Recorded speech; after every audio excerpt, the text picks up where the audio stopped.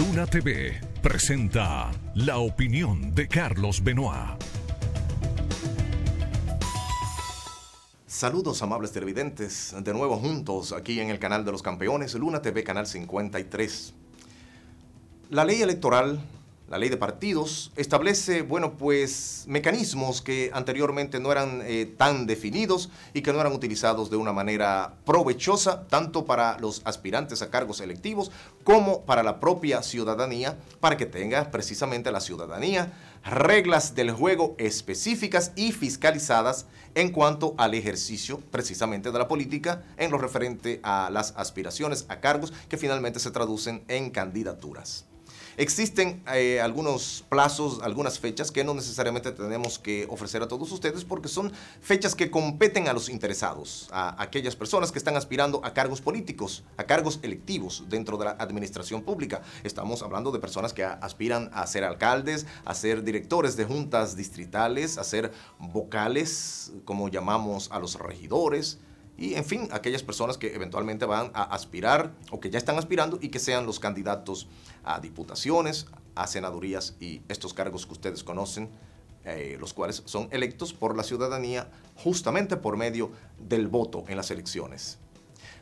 Los partidos políticos tienen por ley unos plazos que les permiten realizar lo que se llaman reservaciones de cargos, unas cuotas reservadas para que se reserve justamente a personas que ellos consideran que pueden ser eventuales ganadores y que son personas que no deben ir a unas primarias porque el partido considera que son los numeritos, las personas que tienen los porcentajes necesarios para ser ganadores, sean nuevos aspirantes o sean personas que ya están en algunos cargos y que crea eh, el partido, cualquiera que fuere, que son las personas que pueden eh, resultar eh, ganadoras. Tienen todo el derecho y la ley precisamente da unas fechas con bastante tiempo, desde julio hasta finalmente eh, las primarias que son en octubre. Tienen todo este tiempo para que eh, a partir, antes de, de, julio, de la primera semana de julio, se reserven estas candidaturas. Es un derecho que atañe a los líderes, a los partidos políticos y que deben utilizar de una forma sumamente inteligente, que se reserven a tiempo las candidaturas, sobre todo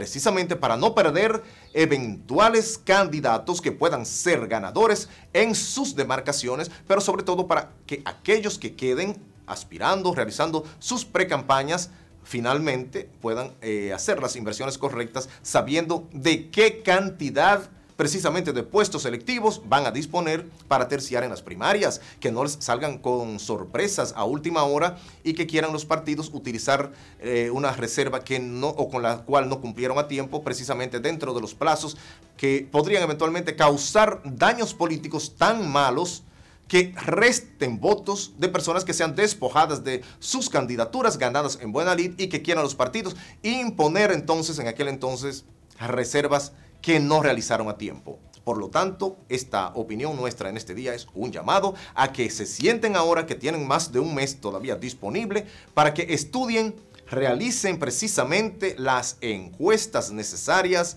para que realicen todas las investigaciones de mercadología política en las demarcaciones del país para que sepan cuáles son justamente las personas que deben tener como puestos reservados y si no tienen necesariamente a las personas por sus nombres propios, que se reserven las candidaturas que eventualmente, bueno, pues van a ser ocupadas por las personas que decidan las autoridades de cada partido de manera particular. Ojalá que lo utilicen de manera inteligente y no que sea utilizado justamente para pisotear el esfuerzo, el gasto de campaña que personas en buena lid, basados en los derechos de los cuales son asistidos por la ley de partidos y la ley electoral y que luego quieran despojar de candidaturas a aquellos que eventualmente las ganen en las primarias de octubre de este año 2019. Mientras tanto, nosotros a ustedes, amables televidentes, como de costumbre, les invitamos a visitar nuestro canal en YouTube y sobre todo siempre suscribirse al mismo y marcar la campanita para recibir las notificaciones de cada nueva emisión. Nuestro canal lo encuentran bajo el nombre Luna TV Canal 53 en YouTube. Mientras tanto, a ustedes, como de costumbre, deseamos que Dios les acompañe donde quiera que estén o a donde vayan. Amigos y amigas, hasta siempre.